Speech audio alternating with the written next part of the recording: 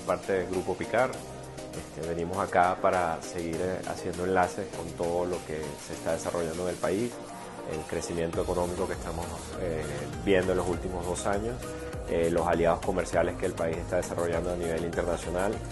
participamos en, hace en prácticamente dos meses con una reunión de negocios con China, después vino con Rusia, ahorita con Irán tenemos muy buenas expectativas, vemos eh, industrias importantes de los diferentes países con intenciones de venir a hacer negocios en Venezuela y bueno, somos partidarios y creemos en que todo este apoyo se debe hacer junto con la industria venezolana. En Venezuela tenemos muchas capacidades, estamos enseñando las capacidades que tenemos y apostamos al futuro en alianzas con empresas privadas de otros países.